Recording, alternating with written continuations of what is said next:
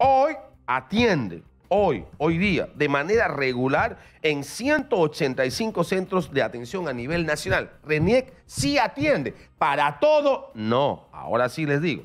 8 y 45 de la mañana, 4 y 45 de la tarde, únicamente para trámites y entregas de DNI, certificaciones y registros civiles, nada más. Eh, los usuarios también podrán hacer su trámite como lo hace siempre, de manera virtual.